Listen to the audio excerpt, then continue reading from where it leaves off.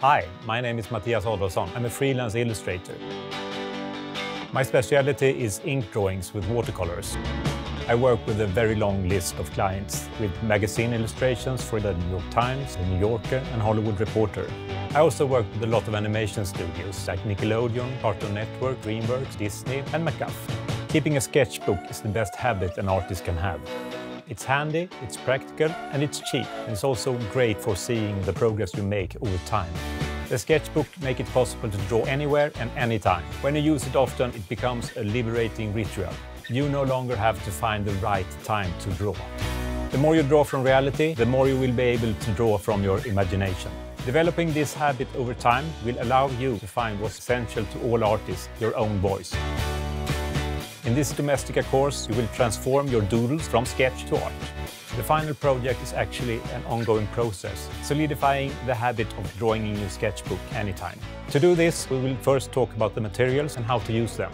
Then I'm going to show you tools are not only good for drawing with, but they also work great as models for your drawings.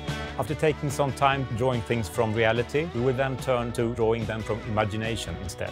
Moving on, I will then show you how to draw objects and then turning them into characters. Drawing objects from reality and then turning them into something else is a great way of learning to draw from your imagination and see the world in a new light.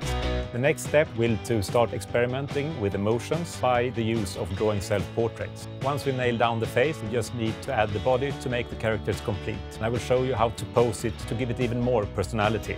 At this point, we have the character ready and we will move on to perspective drawing to create an environment. We will start with one-point perspective and then move on to isometric perspective. You will see that by using this technique, you can create complicated objects with a volume. Once ready, we will give our characters and sketches even more life by adding color. Finally, we will show you how to use social media to sell your work and also take part in the artistic community. By the end of this course, you will have a sketchbook filled with inspirational exercises, but also that is a piece in itself. Explore a wide variety of techniques and boost your creativity by the consistent use of a sketchbook.